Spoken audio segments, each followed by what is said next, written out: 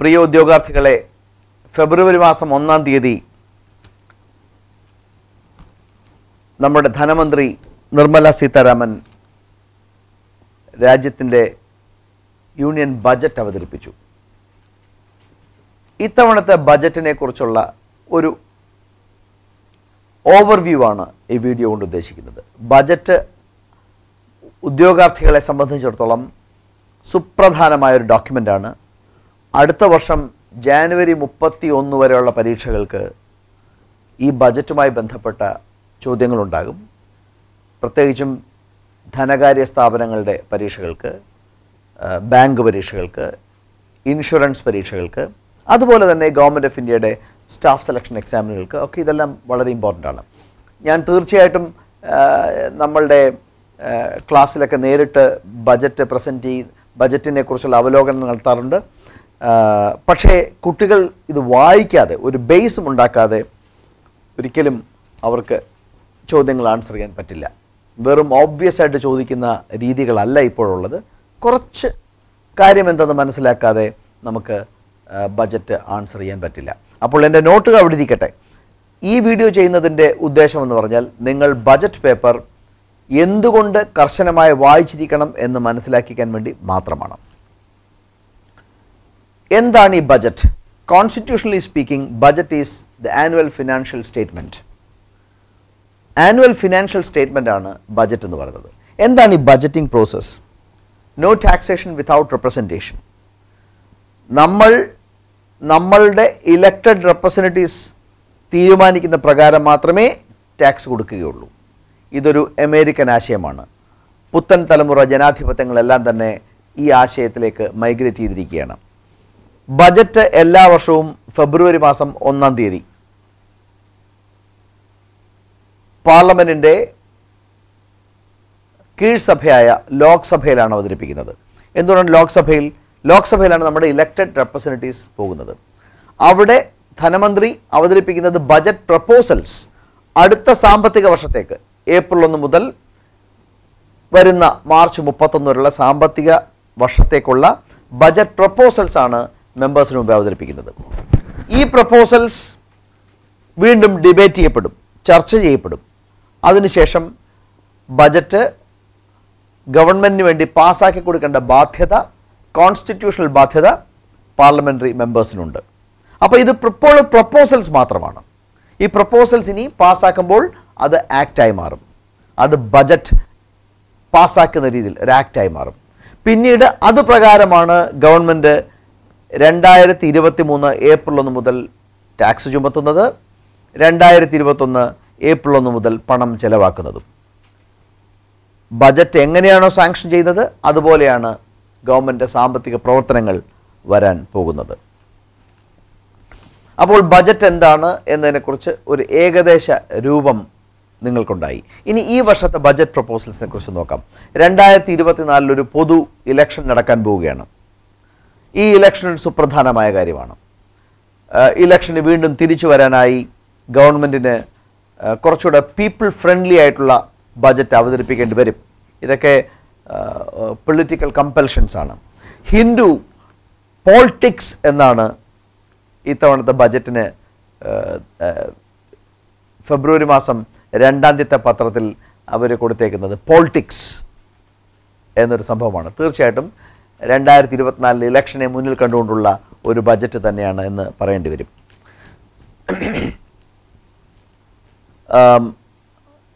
ഗവൺമെന്റിന്റെ ഏറ്റവും പ്രധാനപ്പെട്ട ഒരു കാര്യം പത്ത് ലക്ഷം കോടിയുടെ ക്യാപിറ്റൽ ഇൻവെസ്റ്റ്മെന്റ് ആണ് ഗവൺമെന്റ് ബജറ്റിൽ പ്രതീക്ഷിക്കുന്നത്. പത്ത് ലക്ഷം കോടി.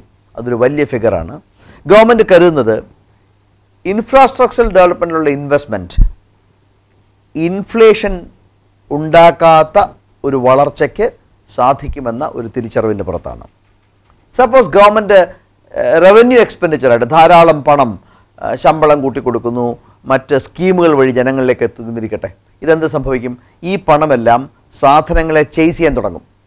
അങ്ങനെ ചെയ്സ് ചെയ്യാൻ തുടങ്ങുമ്പോൾ ഡിമാൻഡ് വർദ്ധിക്കുകയും വിലവർധന ഉണ്ടാകുകയും നമ്മുടെ ഇൻഫ്ലേഷൻ വീണ്ടും റോങ് ദിശകളിലേക്ക് പോവുകയും ചെയ്യും. അപ്പോൾ അത് അത്തരമൊരു ഗ്രോത്ത് എന്ന് പറയുന്നത് ഇൻഫ്ലേഷനെ സഹായിക്കുന്ന രീതിയിലുള്ള ഒരു ഗ്രോത്ത് ആയിരിക്കും. അതുകൊണ്ട് ഗവൺമെന്റ് എന്ത് ചെയ്യുന്നു? ക്യാപിറ്റലിലാണ് ഇൻവെസ്റ്റ് ചെയ്യുന്നത്. പത്ത് ലക്ഷം കോടി ക്യാപിറ്റൽ ഇൻവെസ്റ്റ് ചെയ്യണം. റവന്യൂ ചെലവ് നിയന്ത്രിച്ചുകൊണ്ട് ക്യാപിറ്റലിലാണ് ഒരു ഇൻവെസ്റ്റ് ചെയ്യുന്നത്. എന്താണ് ഗവൺമെന്റ് ഉദ്ദേശിക്കുന്നത്? When the infrastructural investment is increased it won't result in inflation ഇൻഫ്ലേഷനിലേക്ക് ഇൻഫ്ലേഷനെ കണ്ടെയ്ൻ ചെയ്തുകൊണ്ട് തന്നെ ഗ്രോത്ത് ഇക്കണോമിക് ഗ്രോത്ത് ഉണ്ടാക്കാം എന്നൊരു പ്രതീക്ഷയുടെ പുറത്താണ് പത്ത് ലക്ഷം കോടി ഗവൺമെന്റ് ഇത്തവണ ക്യാപിറ്റൽ ഇൻവെസ്റ്റ്മെന്റിലേക്ക് ഇയർ മാർക്ക് ചെയ്തിരിക്കുന്നത്. അതിൽ തന്നെ ഒന്ന് പോയിന്റ് നാല് ലക്ഷം കോടി സംസ്ഥാന ഗവൺമെന്റുകൾക്ക് അൻപത് വർഷത്തേക്ക് ലോൺ എടുക്കാം ഇൻട്രസ്റ്റ് ഫ്രീ ആയി. അത് ഈ പത്ത് ലക്ഷം കോടിയിൽ ഉൾപ്പെടുത്തിയിരിക്കുകയാണ്. ഇതെല്ലാം അതും എന്താണ് അവരുടെ ക്യാപിറ്റൽ ഇൻവെസ്റ്റ്മെന്റ് മാത്രം വേണ്ടി മാത്രമേ ഉപയോഗിക്കാൻ പറ്റൂ. അപ്പോൾ സംസ്ഥാന ഗവൺമെന്റുകൾ ക്യാപിറ്റൽ ഇൻവെസ്റ്റ്മെന്റിന് വേണ്ടി ഉള്ള പ്രോജക്റ്റുകൾ തയ്യാറാക്കി ഗവൺമെന്റിനെ സമർ കേന്ദ്ര ഗവൺമെന്റ് സമർപ്പിക്കുകയാണെങ്കിൽ അവർക്ക് എല്ലാവർക്കും കൂടെയായി ഒരു ലക്ഷത്തി നാൽപ്പതിനായിരം കോടി രൂപ വരെ കേന്ദ്ര ഗവൺമെന്റ് ലോൺ കിട്ടും. ഇതെല്ലാം ഇമ്പോർട്ടന്റ് ആണ്. പ്രൈം മിനിസ്റ്റേഴ്സ് ആവാസ് യോജനയ്ക്ക് വലിയൊരു തുക ഉൾപ്പെടുത്തിയിട്ടുണ്ട്. അറുപത്തിയാറ് ശതമാനം വർധനമാണ് ഉൾപ്പെടുത്തിയിരിക്കുന്നത്. ഇതുപോലെ ഇൻകം ടാക്സ് ഡയറക്റ്റ് ടാക്സസ് ഏഴ് ലക്ഷം രൂപ വരെ ഇൻകം ഉള്ളവർക്ക് ടാക്സ് അടക്കേണ്ടി വരില്ല. പുതിയ സ്കീം പ്രകാരം. ഇൻകം ടാക്സിന്റെ ഒരു പുതിയ സ്കീമും പഴയ സ്കീമും എന്താണ് ഈ പുതിയ സ്കീമിന്റെ വ്യത്യാസം? പഴയ സ്കീമിലാണെങ്കിൽ നമുക്ക് ഇൻകം ടാക്സ് എക്സംഷൻ ലിമിറ്റിന് ശേഷം വീണ്ടും ചില കൺസെഷൻസ് ലഭിക്കുമായിരുന്നു. കാരണം ടാക്സ് ഇൻസെന്റീവ്സ് ഉള്ള നിക്ഷേപങ്ങളിൽ പണം നിക്ഷേപിക്കുകയാണെങ്കിൽ അതിന് ഒരു ഇൻകം ടാക്സ് എക്സംഷൻ നമുക്ക് കിട്ടുമായിരുന്നു. എന്നാൽ പുതിയ സ്കീമിലേക്ക് മൈഗ്രേറ്റ് ചെയ്യുന്നവർക്ക് അവരുടെ എക്സംഷൻ ലിമിറ്റ് കൂടുതലാണ് ഏഴ് ലക്ഷമാണ്. പക്ഷേ അവർക്ക് യാതൊരു മറ്റു മറ്റു വിധത്തിലുള്ള ഇൻവെസ്റ്റ്മെന്റ് ലിങ്ക്ഡ് ആയിട്ടുള്ള ടാക്സ് സേവിങ്സ് പദ്ധതികളിലൊന്നും ബാധകമായിരിക്കില്ല. ഇതാണ് ഓൾഡ് സ്കീമും ന്യൂ സ്കീമും തമ്മിലുള്ള വ്യത്യാസം. ഇപ്പോൾ ഗവൺമെന്റ് ഒരു കാര്യം കൂടെ പറഞ്ഞു ന്യൂ സ്കീമായിരിക്കും ഡിഫോൾട്ട് സ്കീം അപ്പോൾ നമ്മൾ പ്രത്യേകം തിരഞ്ഞെടുത്തില്ല എങ്കിൽ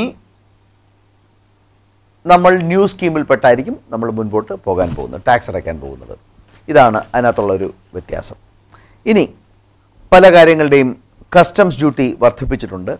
കസ്റ്റംസ് ഡ്യൂട്ടി വർദ്ധിപ്പിച്ച കാര്യങ്ങൾ നോക്കുകയാണെങ്കിൽ ഒരു ചൈന സ്പെസിഫിക് കമോഡിറ്റീസ് നമ്മളുടെ ചൈനയുമായിട്ടുള്ള ട്രേഡ് ഡെഫിസിറ്റ് വ്യാപാര കമ്മി നൂറ് ബില്യൺ കടന്നു. ഇത് ഗവൺമെന്റിനെ ആശങ്കപ്പെടുത്തുന്നു. അതുകൊണ്ട് ചൈന സ്പെസിഫിക് ആയിട്ടുള്ള സാധനങ്ങൾ ഇമ്പോർട്ട് ചെയ്യുന്നത് നിരുത്സാഹപ്പെടുത്താനായി ചൈനയിൽ നിന്ന് സാധാരണ വരുന്ന പ്രോഡക്റ്റുകൾക്കെല്ലാം കസ്റ്റംസ് ഡ്യൂട്ടി വർദ്ധിപ്പിച്ചിരിക്കുകയാണ്. ഹൈ വാല്യൂ ലൈഫ് ഇൻഷുറൻസ് പ്രോഡക്റ്റുകൾ വഴിയുണ്ടാകുന്ന ലൈഫ് ഇൻഷുറൻസ് പോളിസികൾ എടുക്കുന്ന ഹൈ വാല്യൂ പോളിസികൾ എടുക്കുന്നതിന് റിട്ടേൺസ് കൂടുതലായ പോളിസി എടുക്കുന്നതിന് ഉള്ള ടാക്സ് കൺസെഷൻസ് എല്ലാം ഗവൺമെന്റ് മാറ്റി. PAN card income tax department നൽകുന്ന ഐഡന്റിഫിക്കേഷൻ കാർഡാണ് പാൻ കാർഡ് എന്ന് പറയുന്നത്. പാൻ കാർഡ് എന്ന് പറയുന്നത് ഒരു ടെൻ ഡിജിറ്റ് ആൽഫന്യൂമറിക് നമ്പറാണ്. അത് ഒരു വ്യക്തിക്കോ ഒരു എന്റിറ്റിക്കോ നൽകുന്നൊരു സംഭവമാണ് പാൻ കാർഡ് എന്ന് പറയുന്നത്. ഈ പാൻ കാർഡിന് ഒരു കോമൺ ഐഡന്റിഫയർ ആക്കാൻ എല്ലാ ഡിജിറ്റൽ സിസ്റ്റംസിലേക്കും ഒരു കോമൺ ഐഡന്റിഫയർ ആക്കാൻ ഗവൺമെന്റ് തീരുമാനിച്ചു. ഡിഫൻസ് ബജറ്റ് പതിമൂന്ന് ശതമാനം കണ്ട് വർദ്ധിച്ചു. ഡിഫൻസ് അഞ്ച് പോയിന്റ് ഒമ്പത് നാല് ലക്ഷം കോടി. ഇതാണ് ഇന്ത്യയുടെ ഡിഫൻസ് ഔട്ട്ലേ അഞ്ച് പോയിന്റ് ഒമ്പത് നാല് ലക്ഷം കോടി. ഇത് സ്ഥിരം പരീക്ഷയ്ക്ക് വരുന്നൊരു ചോദ്യമാണ്. ഡിഫൻസ് ഔട്ട്ലേ എന്താണ്? നമുക്കറിയാം നമ്മുടെ ഈസ്റ്റേൺ ബോർഡർ ഇപ്പോൾ കലുഷിതമാണ്. രണ്ടായിരത്തി ഇരുപത് ജൂൺ മാസത്തിൽ കോവിഡ് കൊടുമ്പിരി കൊണ്ടിരിക്കുന്ന സമയത്ത് വർഷങ്ങൾക്ക് ശേഷം ആദ്യമായി ഇന്ത്യയുടെ ഈസ്റ്റേൺ ബോർഡറിൽ ഇന്ത്യൻ സേനയും ചൈനീസ് സേനയും തമ്മിൽ ഏറ്റുമുട്ടുകയും അതിൽ ആദ്യമായി അറുപത്തിരണ്ടിലെ യുദ്ധത്തിന് ശേഷം ആദ്യമായി ആൾനാശമുണ്ടായി ഈസ്റ്റേൺ ബോർഡറിൽ. അതിനുശേഷവും ഇന്ത്യയും ചൈനയുമായിട്ടുള്ള ബന്ധം അത്ര സുഖകര സുഖകരമല്ല. നമുക്കറിയാം ചൈന ട്രഡീഷണലി നമ്മുടെ അരുണാചൽ പ്രദേശ് സിക്കിം ലഡാക്ക് ഈ മൂന്ന് കാര്യങ്ങളിലും ഇന്ത്യൻ ബോർഡറിനെ അംഗീകരിച്ചിട്ടില്ല. ഒടുവിൽ രണ്ട് രണ്ടായിരത്തി പത്തുകളിൽ സിക്കിം ഒടുവിൽ അംഗീകരിച്ചു. Sikkim was accepted as the as an Indian territory by China. India's so sovereignty over Sikkim was finally accepted by China in in uh, uh, 2010 or so. അപ്പോൾ സിക്കിം നമുക്ക് ഏതാണ്ട് നമ്മുടേതായിട്ട് ചൈന അംഗീകരിച്ചു എന്നാൽ ലഡാക്കിന്റെ മേലും അരുണാചൽ പ്രദേശിന്റെ മേലും Arunachal Pradesh is considered southern Tibet by China Tibet is a part of China Tibet എന്ന് പറയുന്നത് ചൈനയുടെ ഭാഗമാണ് സതേൺ ടിബറ്റ് ആയിട്ടാണ് ചൈനയെ ആ, അംഗീകരിച്ചിരിക്കുന്നത്. ചൈന സതേൺ ടിബറ്റ് ആയിട്ടാണ് അരുണാചൽ പ്രദേശിനെ അംഗീകരിച്ചിരിക്കുന്നത്. അപ്പോൾ നമ്മുടെ ഒരു ഇലക്ടഡ് ഗവൺമെന്റ് അവിടെ ഉണ്ടെന്ന് ആലോചിക്കണം. അതുപോലെ തന്നെ ലഡാക്കിലും ലഡാക്കിലും ചൈന ഇന്ത്യ ഇന്ത്യയുടെ എന്ന് കരുതുന്ന ടെറിട്ടറിയുടെ മേൽ പലപ്പോഴും ക്ലെയിമുകൾ മേക്ക് ചെയ്യാറുണ്ട്. അതുകൊണ്ട് തന്നെ നമ്മളുടെ ക്യാപിറ്റൽ ഇൻവെസ്റ്റ്മെന്റ് ബോർഡർ റോഡുകളൊക്കെ ഇമ്പ്രൂവ് ചെയ്യണം. സ്വാഭാവികമായിട്ടും ഡിഫൻസിന് ഒരു വലിയൊരു ഇമ്പറ്റസ് ഉണ്ടാകുമെന്ന് കരുതിയിരുന്നു.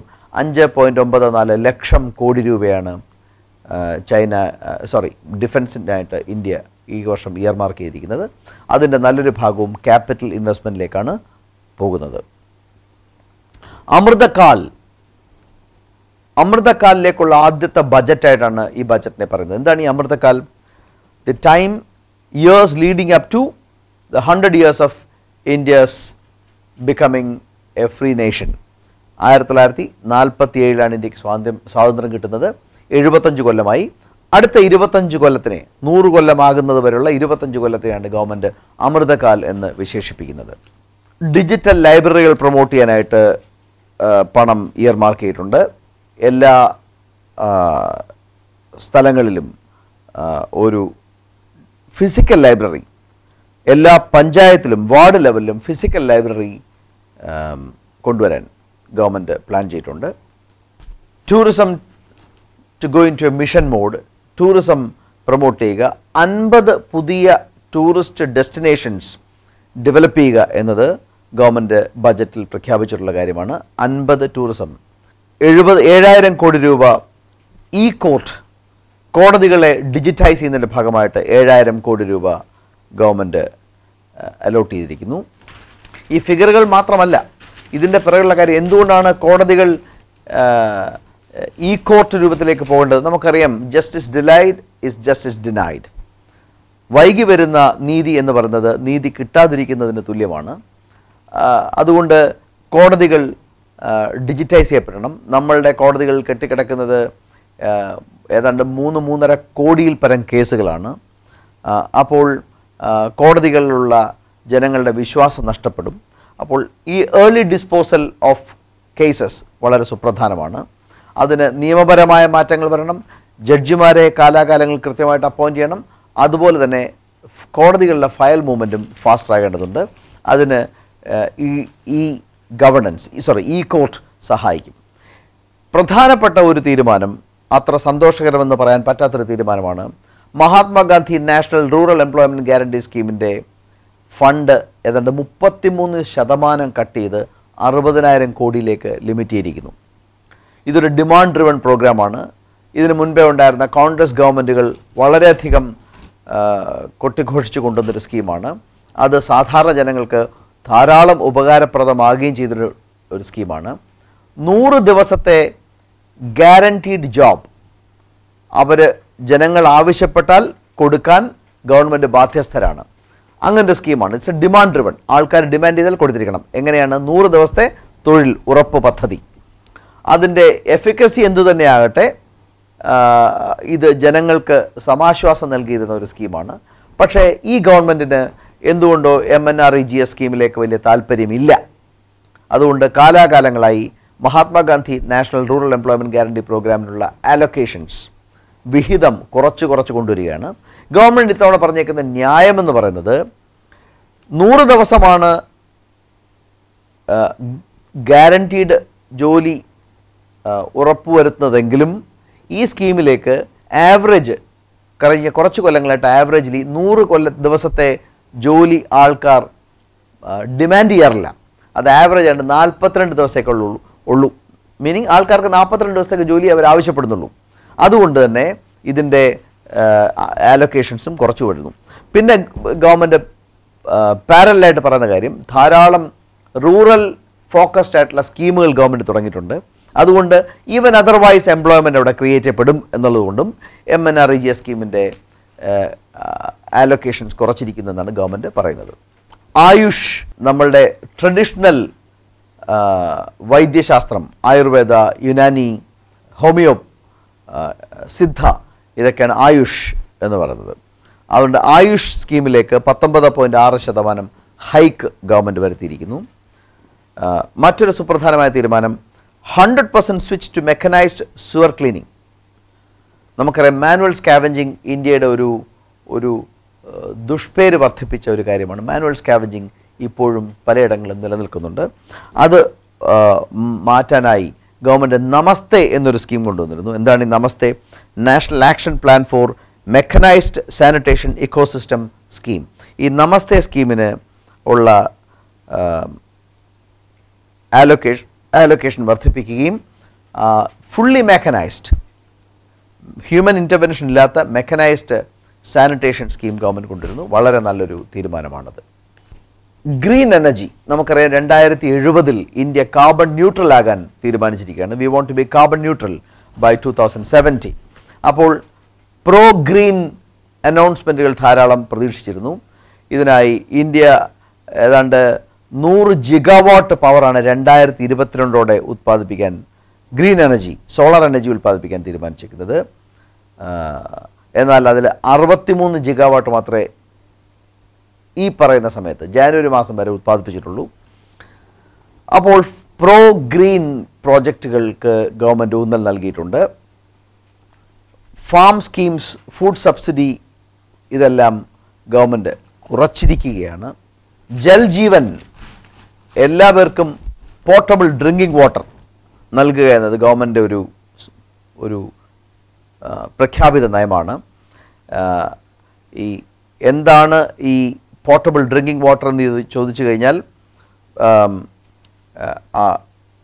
a fully functional tap water connection is defined as a household getting at least fifty five litres of portable water per capita a day all through the year ഒരു വർഷത്തിലെ എല്ലാ ദിവസവും ഒരു കുടുംബത്തിലെ ഒരാൾക്ക് അൻപത്തിയഞ്ച് ലിറ്റർ വെള്ളം വെച്ച് ലഭിക്കുക പോർട്ടബിൾ ഡ്രിങ്ക് വാട്ടർ ലഭിക്കുക എന്നാണ് ഫുൾ ഫങ്ഷണൽ ടാപ്പ് വാട്ടർ എന്ന് ഗവൺമെന്റ് ഉദ്ദേശിക്കുന്നത്. അതിനായി ജൽജീവൻ മിഷൻ ഒരു ഇരുപത്തിയേഴ് ശതമാനം വർധനമാണ് ജൽജീവൻ മിഷന് വേണ്ടി ഗവൺമെന്റ് കൊണ്ടുവന്നിരിക്കുന്നത്. ഈ ഫിഗറൊക്കെ അറിഞ്ഞിരിക്കണം. Women get one time small saving scheme ഇതൊരു സുപ്രധാനമായ കാര്യമാണ്. ഉറപ്പായി പല പരീക്ഷകൾക്കും ഇനി വരാൻ പോകുന്നൊരു ചോദ്യമാണ്. സ്ത്രീകൾക്ക് പെൺകുഞ്ഞുങ്ങൾക്ക് ഒരു വൺ ടൈം സ്കീം ഏഴര ശതമാനം നമുക്കറിയാം ബാങ്കുകളിൽ നിക്ഷേപങ്ങൾക്കൊക്കെ പലിശ വളരെ വളരെ കുറഞ്ഞു വരികയാണ്. അപ്പോൾ ഇതൊരു വൺ ടൈം സ്കീമാണ് രണ്ടായിരത്തി ഇരുപത്തി അഞ്ച് വരെ സ്ത്രീകൾക്ക് ഇതിനകത്ത് ഇൻവെസ്റ്റ് ചെയ്യാം. തുക രണ്ട് ലക്ഷം രൂപയായിട്ടാണ് നിജപ്പെടുത്തിയിരിക്കുന്നത്. അപ്പോൾ small saving certificate will have a fixed interest of seven point five percent for two years deposit can be made in the name of a woman or a girl child ഒരു സ്ത്രീയുടെ പേരിലോ ഒരു പെൺകുട്ടിയുടെ പേരിലോ ആകാം. മാക്സിമം ഡെപ്പോസിറ്റ് രണ്ട് ലക്ഷം രൂപയായിട്ട് നിജപ്പെടുത്തിയിരിക്കുന്നു. Partial withdrawal ഫെസിലിറ്റിയും ഉണ്ട്. അപ്പോൾ ഈ സ്കീം ഉറപ്പായി പരീക്ഷയ്ക്ക് വരാ പല പരീക്ഷകൾക്ക് ചോദിക്കാൻ പോകുന്ന ഒരു സ്കീമാണ് മുപ്പത്തെട്ടായിരത്തി എണ്ണൂറ് ടീച്ചർമാരെ ഏകലവ്യ സ്കൂൾ ഏകലവ്യ സ്കൂളിലേക്ക് മുപ്പത്തി എട്ടായിരത്തി എണ്ണൂറ് ടീച്ചർമാരെയും നോൺ ടീച്ചിങ് സ്റ്റാഫിനെയും കൂടി റിക്രൂട്ട് ചെയ്യാൻ പോകുന്നു. Eklavya school tribal education promote ചെയ്യാൻ വേണ്ടിയാണ് ഗവൺമെന്റ് കൊണ്ടുവന്നിരിക്കുന്നത്. പരീക്ഷയ്ക്ക് ഉറപ്പായിട്ട് വരാവുന്നൊരു കാര്യമാണ്. Railways get an outlay of two point four lakhs an important thing നമുക്കറിയാം സ്വാതന്ത്ര്യാനന്ത അനന്തരകാലത്ത് യൂണിയൻ ബജറ്റും റെയിൽവേ ബജറ്റും രണ്ടായിട്ടാണ് അവതരിപ്പിച്ചിരുന്നത്. എന്നാൽ വളരെ കുറച്ച് കാലങ്ങൾക്ക് മുമ്പാണ് ഇത് രണ്ടുകൂടെ മേർജ് ചെയ്ത് ഇപ്പോൾ റെയിൽവേ ബജറ്റ് പ്രത്യേകിച്ച് അവതരിപ്പിക്കാറില്ല. അത് യൂണിയൻ ബജറ്റിന്റെ ഭാഗമായിട്ടാണ് കിട്ടുന്നത്. റെയിൽവേ മിനിസ്ട്രിക്ക് രണ്ട് പോയിന്റ് നാല് ലക്ഷം കോടി ഇന്ത്യൻ റെയിൽവേ എന്ന് പറയുന്ന ലോകത്തെ ഏറ്റവും വലിയ എംപ്ലോയറാണ്. അപ്പോൾ അവർക്ക് രണ്ട് പോയിന്റ് നാല് ലക്ഷം കോടി ആണ് ഗവൺമെന്റ് ഇയർ മാർക്ക് ചെയ്തേക്കുന്നത്. നൂറ് five G labs hundred five G fifth generation mobile technology labs app development mobile application ഡെവലപ്മെന്റിന് വേണ്ടി ഗവൺമെന്റ് ഹെൽപ്പ് ചെയ്യാൻ പോകുന്നു. വളരെ ഇമ്പോർട്ടന്റ് വെഹിക്കിൾ സ്ക്രാപ്പിംഗ് പോളിസി പതിനഞ്ച് കൊല്ലം പാസഞ്ചർ വെഹിക്കിൾ ഇരുപത് കൊല്ലം കൊമേഴ്ഷ്യൽ വെഹിക്കിൾ അത് കഴിഞ്ഞാൽ വാഹനം മാറ്റിയേ പറ്റൂ എന്നത് വെഹിക്കിൾ സ്ക്രാപ്പിംഗ് പോളിസി സ്ക്രാപ്പിംഗ് പോളിസിയും ഗവൺമെന്റ് പുഷ് ചെയ്തിരിക്കുകയാണ്. ഹിന്ദു എഡിറ്റോറിയൽ വളരെ ബാലൻസ്ഡ് ആയിട്ടൊരു എഡിറ്റോറിയലാണ് പറഞ്ഞിരിക്കുന്നത്. ഇൻക്ലൂസീവ് ഡെവലപ്മെന്റ് പ്രൊമോട്ട് ചെയ്യുന്നു. അതോടൊപ്പം ബജറ്റ് എഫ്ലുവന്റ് ആയിട്ടുള്ള ആൾക്കാരെയാണ് കൂടുതൽ സഹായിക്കുന്നത്. ഇൻകം ടാക്സ് എക്സംഷൻ ലിമിറ്റും കാര്യങ്ങളും ചൂണ്ടിക്കാണിച്ചുകൊണ്ടാണ് ഹിന്ദു അത് എഡിറ്റോറിയൽ എഴുതിയേക്കുന്നത്. എഫ്ലുവന്റ് ആയിട്ടുള്ള ആൾക്കാരെ they are given a pat on the back അവരെ കൂടുതൽ സഹായിച്ചുകൊണ്ട് എന്നാൽ ഗ്രോത്തിനെയൊക്കെ എല്ലാവരെയും സന്തോഷിപ്പിക്കുന്ന ഒരു ബജറ്റ് എന്ന നിലയ്ക്കാണ് ഇന്ത്യ കോമന്റ് ചെയ്തേക്കുന്നത് ഇരുപത് ലക്ഷം കോടി രൂപയാണ് അഗ്രികൾച്ചറൽ ക്രെഡിറ്റ് ടാർഗറ്റ് അത് പരീക്ഷയ്ക്ക് സ്ഥിരം വരുന്നൊരു ചോദ്യമാണ്. ഇരുപത് ലക്ഷം കോടിയാണ് അഗ്രികൾച്ചറൽ ക്രെഡിറ്റ് ടാർഗറ്റ് എന്ന് പറഞ്ഞാൽ കൊമേഴ്ഷ്യൽ ബാങ്കുകൾ കൃഷിക്കായി കൊടുക്കേണ്ടി വരുന്ന ലോണുകളുടെ ടാർഗറ്റ് ഇരുപത് ലക്ഷം കോടി എന്നതും സുപ്രധാനമായ ഒരു കാര്യമാണ്. അത് നിങ്ങളുടെ പരീക്ഷകൾക്ക് ഉറപ്പായി വരാവുന്ന ഒരു കാര്യമാണ്. സോ ഞാൻ ഏതാണ്ട് ബജറ്റിനെ കുറിച്ച് ഒരു ഓവറോൾ ധാരണ ഈ വീഡിയോയിലൂടെ ഞാൻ നിങ്ങൾക്ക് തരുന്നു. നിങ്ങൾ ചെയ്യേണ്ടത് ഈ ബജറ്റ് പേപ്പർ നന്നായിട്ട് വായിക്കുക. ബജറ്റ് പേപ്പർ നിങ്ങൾ കീപ്പ് ചെയ്യുക. ഇതിനെക്കുറിച്ചുള്ള അവലോകനങ്ങളൊക്കെ ഇനി പല ദിവസങ്ങളിലും വരും ദിവസങ്ങളിൽ പത്രത്തിൽ വരും. ഇതെല്ലാം വായിക്കുക. നിങ്ങളുടേതായ ബ്രീഫ് നോട്ടുകൾ അത് വെറും ഫിഗേഴ്സ് മാത്രം എഴുതി വെച്ചാൽ പോരാ. എന്തുകൊണ്ട് അങ്ങനെ government government what is a thought behind such a decision ഒരു തുക വർദ്ധിപ്പിക്കുന്നതിന്റെ കുറയ്ക്കുന്നതിന്റെ അതിന്റെ പിറകിലുള്ള ഗവൺമെന്റ് ചിന്ത എന്താണ്? ഇങ്ങനെയൊക്കെയുള്ള മിനിമം അവലോകനങ്ങളൊക്കെ നടത്തുക. കാരണം ഇപ്പോൾ ബാങ്ക് പ്രൊബേഷൻ ഓഫീസർ പരീക്ഷയ്ക്ക് വളരെ ഷാർപ്പായിട്ടാണ് അവർ ചോദിക്കുന്നത്. സോ ബജറ്റ് സുപ്രധാനമായ ഒരു ഫിനാൻഷ്യൽ ഡോക്യുമെന്റ് ആണ് നിങ്ങൾക്കറിയാം. പരീക്ഷകളിൽ സാധാരണ ധാരാളം സ്വാധീനമുണ്ടാകാവുന്ന ഒരു പേപ്പറാണ് ഒരു ഡോക്യുമെന്റാണ് ബജറ്റ് ധാരാളം ക്വസ്റ്റ്യൻസ് ബജറ്റിൽ നിന്ന് വരാറുണ്ട്. ബജറ്റ് പേപ്പർ നന്നായി വായിക്കുക അത് കീപ്പ് ചെയ്യുക. Thank you very much I hope this video help you കൂടുതൽ സഹായം നിങ്ങൾക്ക് നിങ്ങളെ സഹായിക്കാൻ പറ്റുള്ളൂ. നന്നായി പത്രം വായിക്കുക. ബജറ്റുമായി ബന്ധപ്പെട്ട കാര്യങ്ങൾക്ക് നല്ലൊരു ഷോർട്ട് നോട്ട് ഉണ്ടാക്കി വയ്ക്കുക and wait for my notes എന്റെ നോട്ടുകൾ എന്റെ വിദ്യാർത്ഥികൾക്ക് ലഭിക്കും. ഓൺലൈൻ ഓഫ്ലൈൻ സ്റ്റുഡൻസുകൾക്ക് ഈ നോട്ടുകൾ ലഭിക്കുമെന്ന് നിങ്ങൾക്കറിയാം. പക്ഷേ ആ നോട്ടിന്റെ സമഗ്രമായ ഉപയോഗം ഉറപ്പുവരുത്തണമെങ്കിൽ പത്രം സമഗ്രമായി വായിച്ചേ പറ്റൂ. Thank you very much once again